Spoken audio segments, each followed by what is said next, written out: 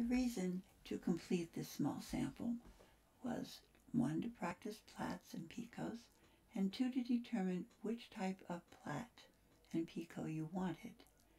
The picots here had five twists and then two, one or no twists.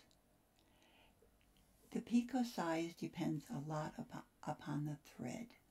So if you have a thinner thread, you may even need seven twists to make a picot that you like.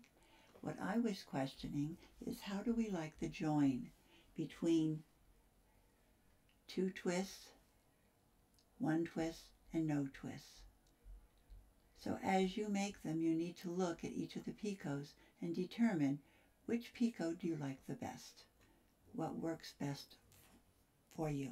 It's all your own preference, but I wanted you to know there are different numbers that can be applied and different types of lace use different numbers, but it's all personal preference.